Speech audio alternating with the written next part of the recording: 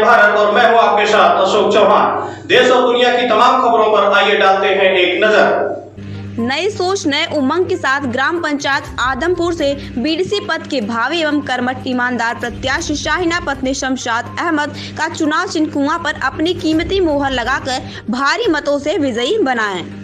बढ़ते हुए कोविड 19 के प्रकोप को देखते हुए मंडलायुक्त ने की अपील। कोविड 19 के बढ़ते हुए प्रकोप को देखते हुए आज मंडलायुक्त दीपक अग्रवाल ने कमिश्नरी सभागार में प्रेस कॉन्फ्रेंस आयोजित कर समस्त देशवासियों को यह संदेश दिया है कि अगर कोई बहुत ज़रूरी कार्य ना हो तो काशी ना आए और अपने घरों में रहे। कोविड नाइन्टीन का यह दूसरा चरण काफ़ी खतरनाक होता दिख रहा है।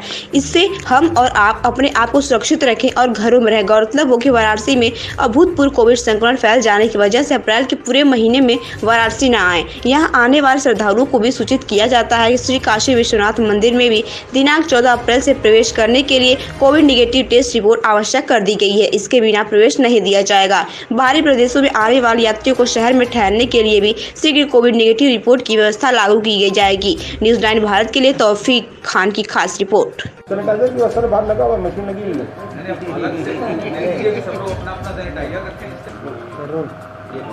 मैं काशी की जनता को एवं काशी में आने वाले विभिन्न श्रद्धालुओं को ये हार्दिक अपील करूँगा कि वर्तमान कोविड 19 के सेकेंड सर्च को देखते हुए बहुत ज़रूरी ना हो तो काशी में अपने घरों से ना निकले और काशी में विभिन्न प्रदेशों से एवं उत्तर प्रदेश के अन्य जनपदों से आने वाले लोगों से भी आग्रह करूँगा कि अगर बहुत आवश्यक ना हो तो अभी वर्तमान में काशी आगमन का अपना विचार थोड़ा सा स्थगित रख ले।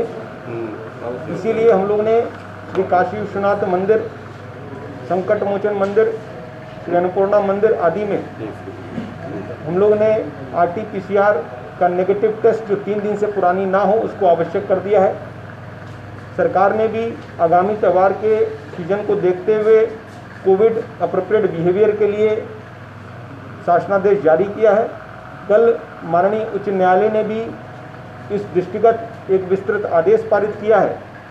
और सबसे इम्पोर्टेंट कि हम लोग सब लोग इस बात से अवगत हैं कि वर्तमान में एक ये हमारे सामने एक नई चुनौती आई है और उस चुनौती को केवल बचाव के द्वारा ही ठीक किया जा सकता है। तो काशी में मैं लोगों से अपील करूँगा कि बिना काम के लोग अपने घर से ना निकलें।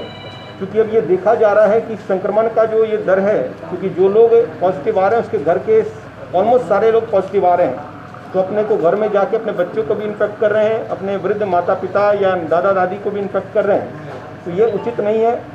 आप खुद भी इन्फेक्ट हो रहे हैं और अपने जो लोग जिनके से सब, सबसे ज़्यादा प्यार करते हैं, उनको भी इन्फेक्ट कर रहे हैं। तो इस चीज़ से बचें। नंबर टू अगर आवश्यक है तो निकल रहे हैं तो कम से कम मास्क ज़रूर पहने। हर थोड़े थोड़े अल्प समय में वो लोग अपना हाथ को सैनिटाइज करें प्रॉपरली घर जाते, घर वापस जाने के बाद यथासंभव नहाएँ, या नहीं तो कम से कम अपना पूरा हाथ सैनिटाइज करने के उपरांत ही कोई अन्य कार्य करें।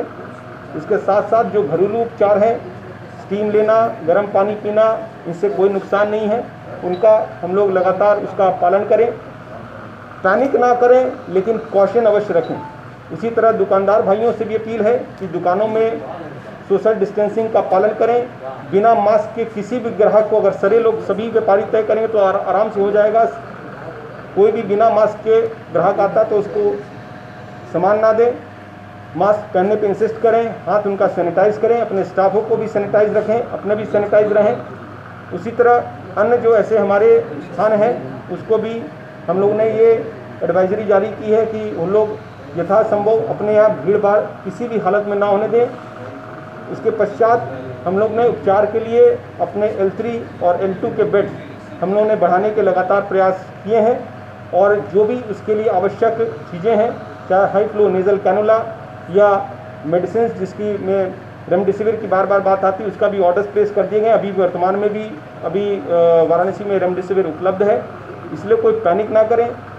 जो लोग होम आइसोलेशन में ट्रीट हो सकते हैं दवाइयों के माध्यम से, उनसे आग्रह है कि वो लोग अननेसेसरी हॉस्पिटलाइजेशन पे दबाव ना डालें। आराम से वो घर पे अपने उपचार करते हुए और दवाइयाँ लेते हुए वो ठीक हो सकते हैं। जहाँ पर भी उनका अगर कोई ऐसी स्थिति होती है तो तत्काल हमारे जो कंट्रोल रूम के नंबर हैं 1077 एवं अन्य जो नंबर आप लोग को आज विज्ञप्ति के माध्यम से दिए जा रहे हैं उसकी वाइड पब्लिसिटी कराइए, वहाँ पर फ़ोन करके बोलिए, हम लोग करीब करीब यहाँ पर तीस एंबुलेंस इसी पर्पज़ से लगा रखे हैं।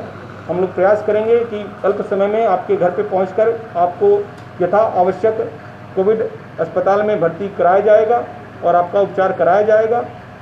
लेकिन अननेसेसरी हॉस्पिटल पे दबाव ना बनाएँ, क्योंकि मैंने कहा कि बनारस